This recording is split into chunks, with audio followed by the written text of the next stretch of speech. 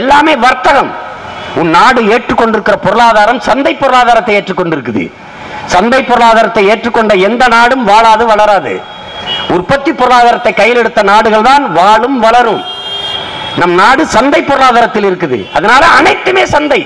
நீயும் கூட ஒரு சந்தை பொருள் தான் நீ கிரிக்கெட் எடுத்துக்க. நீ நல்லா நாலஞ்சு சிக்ஸர் ஃபோர் அடிச்சிட்டீங்கன்னா உனக்கு நாலு கோடிக்கு ஏழை எடுப்பான்.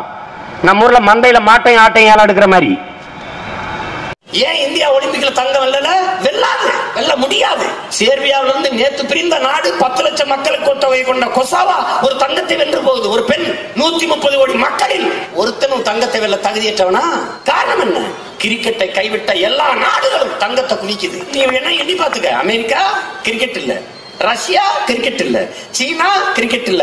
இது மூணும் தான் முதலிடத்துல இருக்குது. கிரிக்கெட்டை வைத்திருக்கிற எல்லா நாடும் வெங்கலம் வெள்ளிக்கு பல்லளிக்குது அதுல இந்தியா மாபெரும் வீரர்கள் ஓடுறான். ஒவ்வொருத்தரும் உசேன் பல்ட்டா ஓடுறான். எடுக்க ஆள் இல்ல. ஏன்?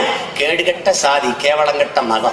விளையாட்டு விளையாட்டா இருக்கணும். அங்க போய் வேண்டிய ஆளு வேண்டாத ஆளு பார்க்கும்போது தோத்துருது. நாற்பத்தெட்டு ரெண்டு கிலோமீட்டர் ஓடணும். தொடர் ஓட்டம் மாராத்தான் நாற்பத்தி ரெண்டு கிலோமீட்டர் ஓடுது ஒரு நம்ம நாட்டினுடைய பெண்ணு. தண்ணி கொடுக்க ஒருத்தன் இல்லைங்குது. நான் மரணத்தை தொட்டுட்டேன்னு சொல்லுது. செத்தோன்னு போய் விழுந்தேன்னு சொல்லுது. இதை விட இந்த நாட்டுக்கு கேவலம்? இதெல்லாம் மாத்தணும்னா இது யாரோட வேலையோன்னு நீ நினைச்சிட்டு இருக்க. இது நம்ம வேலை.